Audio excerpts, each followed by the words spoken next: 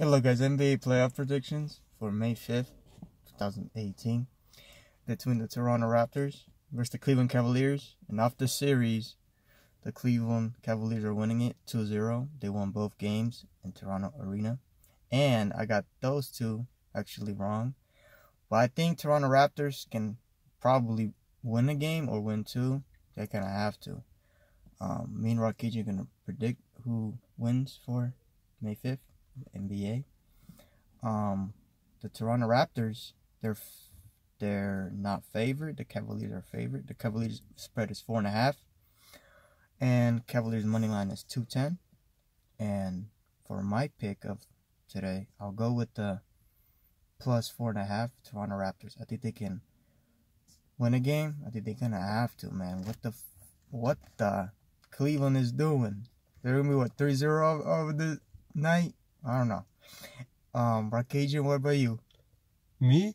Oh, I think Cavaliers gonna win because, I mean, like, dude, like, it should be it should be LeBron, LeBron, LeBron, LeBron, LeBron. The whole team should be just called the LeBrons, you know.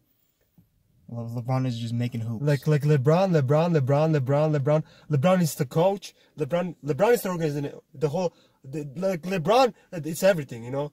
Like Le, like every everything Le, LeBron does, you know. So I think they will win. Yeah, I think Cavaliers will win.